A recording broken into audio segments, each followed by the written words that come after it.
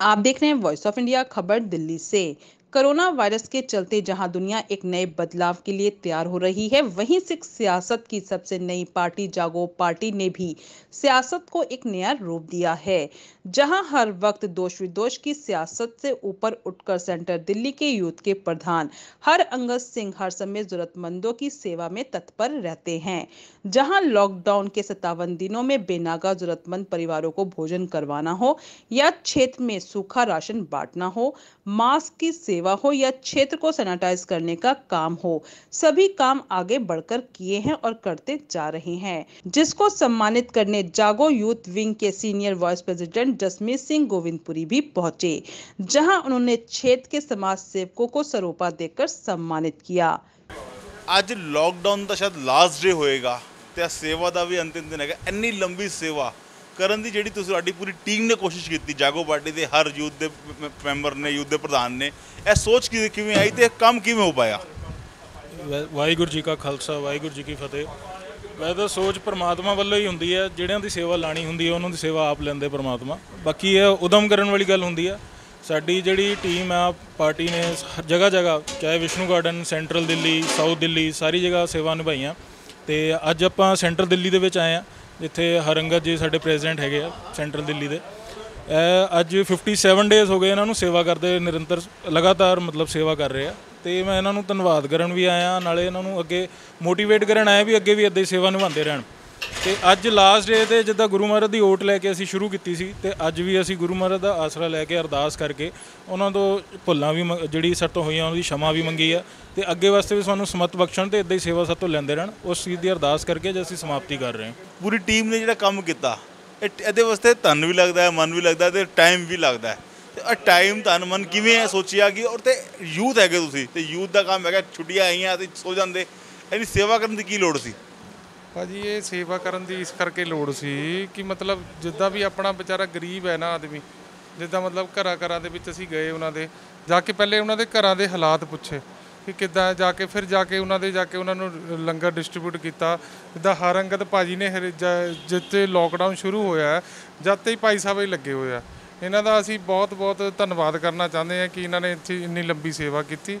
ਨਾਲੇ ਜਿੱਦਾਂ ਵੀ ਸਾਡਾ ਯੂਥ ਹੈ ਇਕੱਠਾ ਹੋ ਕੇ ਸੇਵਾ ਕਰ ਰਿਹਾ ਹੈ ਤੇ ਯੂ- ਸਾਊਥ ਵਿੱਚ ਵੀ, ਆ ਇੱਧਰ ਵਿਸ਼ਨੂੰ ਗਾਰਡਨ ਵੀ ਤੇ ਅਸੀਂ ਜਿੰਨੇ ਵੀ ਜਨਮਨ ਪਰਿਵਾਰ ਸੀ, ਉਹਨਾਂ ਨੂੰ ਅਸੀਂ ਜਿੱਦਾਂ ਵੀ ਕਰਕੇ ਪਹਿਲੇ ਤਾਂ ਉਹਨਾਂ ਤੋਂ ਨਾਲ ਦੇ ਪੜੋਸੀਆਂ ਤੋਂ ਪੁੱਛ ਕੇ ਕਿ ਬਾਈ ਇਹ ਲੋੜਵੰਦ ਹੈ ਜਾਂ ਕਿੱਦਾਂ ਹੈ, ਹਰੇਕ ਦੇ ਘਰ ਅਸੀਂ ਲੰਗਰ ਪਹੁੰਚਾਇਆ ਸਾਰੀ ਸਾਡੀ ਟੀਮ ਦਾ ਇਹੀ ਵਰਕ ਸੀ ਕਿ ਕਿਤੇ ਵੀ ਕਿਤੇ ਗਲਤ ਜਗ੍ਹਾ ਨਾ ਜਾਏ, ਜਿਹਨੂੰ ਲੋੜ ਹੈ ਉੱਥੇ ਹੀ ਲੰਗਰ ਪਹੁੰਚੇ।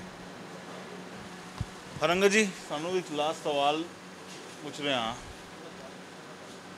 ਲਗਭਗ ਲਗਭਗ 60 ਦਿਨ ਹੋ ਗਏ ਸੇਵਾ ਨੂੰ 57 60 ਦਿਨ ਹੋ ਗਏ ਨੇ, ਸੇਵਾ ਕਰਦੇ ਹੋਏ ਨੇ। ਇਹ ਸੋਚ ਤੇ ਇਹ ਸੇਵਾ ਦਾ ਜਜ਼ਬਾ ਕੰਟੀਨਿਊ ਰੱਖਣਾ, ਕਿਉਂਕਿ ਸੇਵਾ ਆਪਦੀਆਂ ਛੁੱਟ ਕੰਮ ਛੁੱਟੀਆਂ ਹੈਗੀਆਂ ਨੇ ਲੋਕਡਾਊਨ ਹੈਗਾ, ਘਰ ਪਰਿਵਾਰ ਟਾਈਮ ਬਿਤਾਈਏ ਸਪੈਂਡ ਕਰੀਏ ਅੱਜ ਦੀ ਭਾਗਦੌੜ ਜ਼ਿੰਦਗੀ ਦੇ ਅੰਦਰ ਟਾਈਮ ਨਹੀਂ ਹੈਗਾ। ਤੇ ਤੁਸੀਂ 57 ਦਿਨ ਇਸ ਤੇ ਯੂਟਿਲਾਈਜ਼ ਕਰਦੇ ਆਪਣੇ, ਇਹ ਕਿਉਂ ਕੀਤਾ? ਵਾਹਿਗੁਰੂ ਜੀ ਦਾ ਖਾਲਸਾ, ਵਾਹਿਗੁਰੂ ਜੀ ਦੀ ਫਤਿਹ। ਵੀਰ ਜੀ, ਸਭ ਤੋਂ ਪਹਿਲੀ ਗੱਲ ਮੈਂ ਦੱਸਣਾ ਚਾਹਾਂਗਾ, ਜਦ ਇਹ ਲੋਕਡਾਊਨ ਸ਼ੁਰੂ ਹੋਇਆ ਸੀ ਸਾਡੀ ਇੱਕ ਯੂਥ ਦੀ ਤੇ ਮੇਨ ਟੀਮ ਦੀ ਕੋਰ ਮੀਟਿੰਗ ਰੱਖੀ ਗਈ ਸੀ, ਜਿਸ ਵਿੱਚ ਸਰਦਾਰ ਮਨਜੀਤ ਸਿੰਘ ਜੀ ਕੇ, ਪ੍ਰਧਾਨ ਜਾਗੋ ਪਾਰਟੀ ਦੇ ਹੈਗੇ ਨੇ, ਸਰਦਾਰ ਹਰਜੀਤ ਸਿੰਘ ਜੀ ਕੇ, ਸਰਪ੍ਰਸਤ ਜਾਗੋ ਯੂਥ ਵਿੰਗ ਦੇ। ਸਭ ਦਾ ਇੱਕ ਫੈਸਲਾ ਲਿੱਤਾ ਗਿਆ ਸੀ ਕਿ ਕੀਰਤ ਦਿੱਲੀ ਦੇ ਵੱਖ-ਵੱਖ ਕੋਨੇ ਤੇ ਰਸੋਈਆਂ ਬਣਾਈਆਂ ਜਾਣਗੀਆਂ ਤੇ ਉਧਰੋਂ ਲੰਗਰ ਵੰਡਿਆ ਜਾਏਗਾ ਸਾਰਿਆਂ ਨੂੰ। ਤੇ ਉਸੇ ਟਾਈਮ ਸਾਨੂੰ ਇੱਕ ਜ਼ਿੰਮੇਵਾਰੀ ਦਿੱਤੀ ਗਈ ਸੀ, ਜਦ ਸੈਂਟਰਲ ਦਿੱਲੀ ਤੇ ਪ੍ਰਧਾਨ ਹੋਣ ਦੇ ਨਾਤੇ ਮੈਨੂੰ ਕਿ ਕੀਰਤੀ ਨਗਰ ਹੈ ਕਿਚਨ ਸੈਟਅਪ ਹੋਏਗਾ ਤੇ ਇਧਰੋਂ ਲੰਗਰ ਵੰਡਿਆ ਜਾਏਗਾ। ਤੇ ਮੈਂ ਬੜਾ ਆਪਣੇ ਆਪ ਨੂੰ ਵਡਭਾਗੀ ਸਮਝਦਾ ਕਿ ਮੈਨੂੰ ਇਹ ਸੇਵਾ ਮਿਲੀ ਸੀ ਤੇ ਇਹ ਸੇਵਾ ਪੂਰੀ ਅਸੀਂ 57 ਦਿਨ ਤੱਕ ਨਿਭਾਈ ਹੈ। ਅਸੀਂ ਸਿਰਫ ਸੈਂਟਰਲ ਦਿੱਲੀ ਵਿੱਚ ਇਹ ਸੇਵਾ ਨਹੀਂ, ਚਾਹੇ ਦਿੱਲੀ ਦੇ ਵੱਖ-ਵੱਖ ਕੋਨੇ ਤੱਕ ਕਿਧਰ ਵੀ ਜ਼ਰੂਰਤਮੰਦ ਹੋਏ, ਚਾਹੇ ਉਹ ਸਰੂਪਨਗਰ ਹੋਏ ਕਲੰਦੀ ਕੁੰਜ ਹੋਏ ਵਿਸ਼ਨੂੰ ਗਾਰਡਨ ਹੋਏ, ਜਨਕਪੁਰੀ ਹੋਏ, ਜਿੱਧਰ ਵੀ ਸਾਨੂੰ ਪਤਾ ਚੱਲਦਾ ਸੀ ਕਿ ਇਧਰ ਕੋਈ ਲੋੜ ਹੈਗੀ ਹੈ ਦਵਾਈ ਦੀ, ਸੈਨੀਟੇਸ਼ਨ ਦੀ, ਮਾਸਕ ਦੀ ਜਾਂ ਲੰਗਰ ਦੀ ਜਾਂ ਸੁੱਖਾ ਰਾਸ਼ਨ ਦੀ, ਸਾਡੀ ਟੀਮ ਉੱਥੇ ਪਹੁੰਚ ਕੇ ਉਹਨੇ ਉਹ ਸੇਵਾ ਨਿਭਾਈਆਂ ਤੇ ਮੈਂ ਸਾਰਾ ਧੰਨਵਾਦ ਕਰਦਾ ਜਿੱਥੇ ਜਿੱਥੇ ਮੈਂ ਧੰਨਵਾਦ ਕਰਾਂਗਾ ਆਪਣੇ ਮਾਵਾਂ ਤੇ ਭੈਣਾਂ ਦਾ ਵੀ ਜਿਨ੍ਹਾਂ ਨੇ ਸਵੇਰੇ ਸ਼ਾਮ ਸਾਨੂੰ ਹਜ਼ਾਰੋਂ ਪ੍ਰਸ਼ਾਦੇ ਦਿੱਤੇ ਤੇ ਸੇਵਾ ਕੀਤੀ ਸਾਡੇ ਨਾਲ। ਵਾਹਿਗੁਰੂ ਜੀ ਦਾ ਖਾਲਸਾ ਵਾਹਿਗੁਰੂ ਜੀ ਦੀ ਫਤਿਹ। ਤੁਹਾਡੇ ਪਰ ਤੁਸੀਂ ਯੂਥ ਹੈਗੇ ਹੋ ਤੇ ਕਾਫੀ ਤੁਹਾਡੀ ਉਮਰ ਵੀ ਸਾਡੇ ਕਾਫੀ ਘੱਟ ਹੈਗੀ ਹੈ ਤੇ ਤੁਸੀਂ ਲੰਗਰ ਦੀ ਸੇਵਾ ਵਾਸਤੇ ਕਿਵੇਂ ਸੋ- ਦਿਮਾਗ 'ਚ ਇਹ ਗੱਲ ਆਈ ਕਿ ਮੈਂ ਵੀ ਸੇਵਾ ਕਰਨੀ ਹੈ? ਵੀਰ ਜੀ ਵਾਹਿਗੁਰੂ ਜੀ ਕਾ ਖਾਲਸਾ ਵਾਹਿਗੁਰੂ ਜੀ ਕੀ ਫਤਿਹ। ਸਾਡੇ ਹਰੰਗਤ ਸਿੰਘ ਜੀ ਸਾਡੇ ਵੱਡੇ ਭਰਾ ਨੇ ਤੇ ਉਹਨਾਂ ਨੇ ਸਾਨੂੰ ਪਹਿਲੇ ਪੁੱਛਿਆ ਕਿ ਇਸ ਤਰ੍ਹਾਂ ਇਸ ਤਰ੍ਹਾਂ ਅਸੀਂ ਸੇਵਾ ਦੇ ਲਈ ਪਲਾਨ ਕਰ ਰਹੇ ਸੀ। ਤੇ ਤੁਸੀਂ ਦੱਸੋ, ਤੁਸੀਂ ਸੇਵਾ ਕਰਨਾ ਚਾਹੋਗੇ? ਤੇ ਜਿਸਸੇ ਬਾਕੀ ਸਾਰੇ ਸੇਵਾ ਕਰਦੇ ਨੇ, ਅਸੀਂ ਉੱਥੇ ਨੋਟ ਕੀਤਾ ਕਿ ਇੱਥੇ ਯੂਥ ਜਿਹੜਾ ਹੈਗਾ, ਉਹ ਇਸ ਚੀਜ਼ 'ਚ ਕਾਫੀ ਘੱਟ ਹੈ, ਉਹਨਾਂ ਨੂੰ ਡਰ ਲੱਗਦਾ। ਉਹ ਕਹਿੰਦੇ ਨੇ ਕਿ ਬਈ ਅਸੀਂ ਸੇਵਾ ਕਰਾਂਗੇ ਤੇ ਸਾਨੂੰ ਬਾਹਰ ਨਿਕਲਣ ਤੋਂ ਵੀ ਡਰ ਹੈ।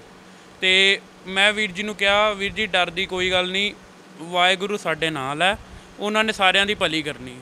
ਤੇ ਮੈਂ ਵੀਰ ਜੀ ਦੇ ਨਾਲ ਸੇਵਾ ਤੋਂ ਫਸਟ ਡੇ ਤੋਂ ਹੈਗਾ। ਤੇ ਇਹੀ ਕਹਿ- ਇਹੀ ਕਹਿਣਾ ਚਾਹਾਂਗਾ ਕਿ ਵੀਰ ਜੀ ਜਦੋਂ ਵੀ ਸੇਵਾ ਕਰਦੇ ਨੇ, ਤੇ ਵੀਰ ਜੀ ਦਾ ਸਾਰਾ ਧਿਆਨ ਸੇਵਾ ਤੇ ਹੁੰਦਾ ਹੈ। ਤਨ, ਮਨ, ਧਨ ਤਿੰਨੋਂ ਚੀਜ਼ਾਂ ਵੀਰ ਜੀ ਕਹਿੰਦੇ ਨੇ ਕਿ ਸਿਰਫ ਔਰ ਸਿਰਫ ਸੇਵਾ ਕਰਨੀ ਹੈ ਤੇ ਸਿਰਫ ਮਨ ਨਾਲ ਕਰੋ। ਬਾਬਾ ਉਸੇ ਜੀ ਖੁਸ਼ ਹੈ।